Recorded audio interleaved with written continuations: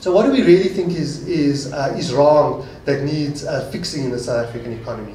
And I think there are a couple of broad themes that we can probably agree on.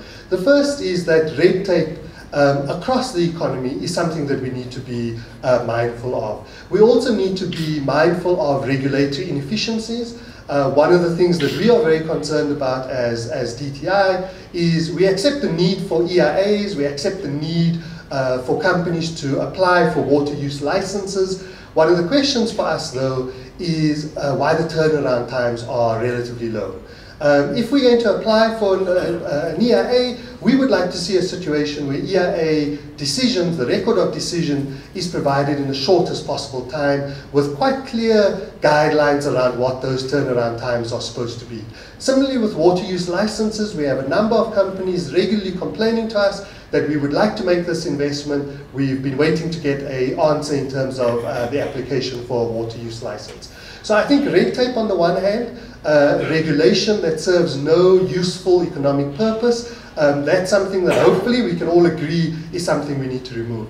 A second area is around uh, making sure that regulatory efficiency is uh, built into the way that uh, we as government do, do business.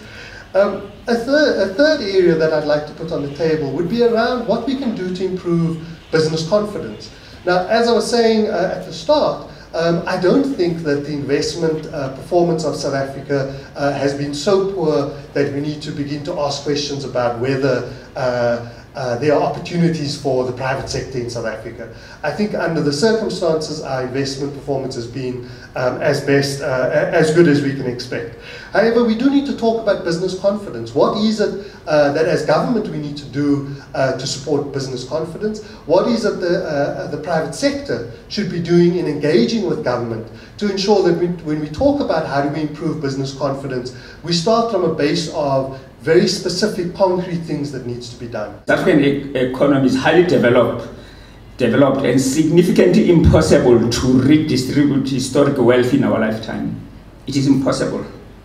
Economic balance sheet in excess of 8 trillion and this ownership extensively foreign owned and controlled. Besides the fact that our economy is is, is, is, is really uh, owned by minority white capital in this country, but also most of it is is owned uh, uh, externally.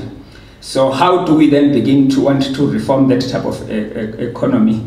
In our lifetime, it's impossible because if you want to be able to reform that economy and having to have access to the necessary resources to put in the majority of, of, of, of our people, it will be difficult for us really to think we can, we, can, we can match that in our lifetime.